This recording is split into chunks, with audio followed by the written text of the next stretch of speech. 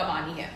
आगे बात करते हैं अबाउट अनुष्का शर्मा। अनुष्का शर्मा ऑब्वियसली पाताल लोक से फ़ेमस हो गई बिकॉज़ उसके पहले तो she was not having any work after her marriage so ये अनुष्का शर्मा अब एक दूसरी वेब सीरीज़ के साथ जुड़ी हुई है, जिसे उसने प्रोड्यूस किया है और इस वेब सीरीज़ का नाम है बुलबुल, जिसे नेटफ्लिक्स ने रिलीज़ की है और इस बुलबुल में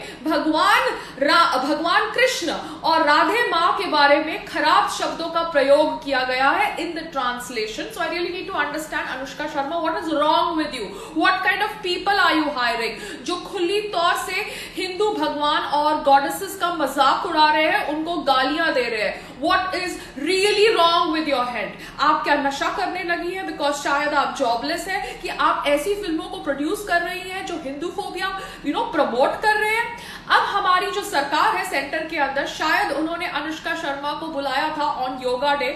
the ministry of Ayush whatever that is their personal choice but as an Indian I feel it is a wrong choice आप किसी और को बुला सकते थे अपने योगा डे प्रमोशन के लिए, ना कि अनुष्का शर्मा को बिकॉज़ अनुष्का शर्मा जो खुली तौर से गलत नैरेटिव स्प्रेड कर रही है, हमारे भगवानों को गालियाँ दे रही है अपने वेब सीरीज़ में दो रोजी रोटी कमाने के लिए। उसको आप यूज़ करते हैं अपने योगा डे प्रमोशंस के लिए तो ये सरकार को गलत लाइट में प्रोजेक्ट करता है।